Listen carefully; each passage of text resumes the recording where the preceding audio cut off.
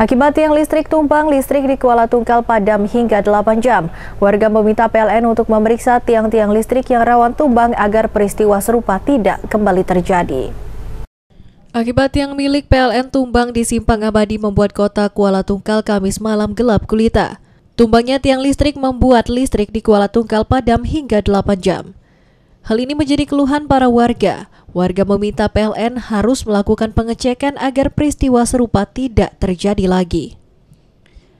Sejumlah warga mengatakan PLN seharusnya lebih teliti untuk melihat langsung tiang PLN yang rawan tumbang, sebab tiang PLN banyak yang telah miring akibat dimakan usia.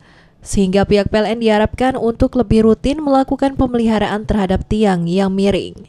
Konsumen masyarakat Tanjung Barat, ya, semestinya pihak PLN meninjau kembali yang mana tiang-tiang yang sudah miring ya segera disempurnakan. Jangan sampai nanti setelah roboh baru sibuk untuk menyempurnakan, membenarkan. Hmm. sementara kan mereka kan ada ini dana-dana pemeliharaan. Uh, pemeliharaan rutin. Jalan dari pihak PLN sendiri. Seharusnya pihak PLN sudah itu kan sudah dianggarkan itu dari APBN. Hmm setiap berapa tahun sekali permajaan. Hmm. Jadi tiang listrik itu tidak seharusnya patah tanpa diketahui. Hmm. 20 tahun sekali atau 10 tahun sekali itu sudah ada. Hmm. Patroli mereka kan ada. Hmm.